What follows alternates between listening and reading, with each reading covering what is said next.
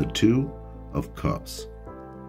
The image on the Two of Cups card shows two different versions of the Rebis, which stands for Res Bina, or the two things.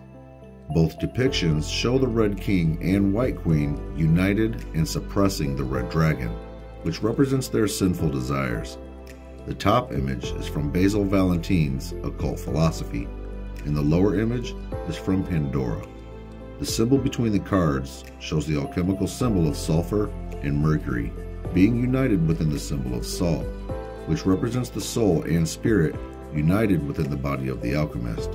The bottom image shows the Red King holding a sword on the left side of the Pillar of Severity, while the White Queen freely offers a crown on the Pillar of Mercy. The top image shows the Rebis holding a compass and square, which are the tools of a carpenter and was the profession of Yeshua's father Joseph.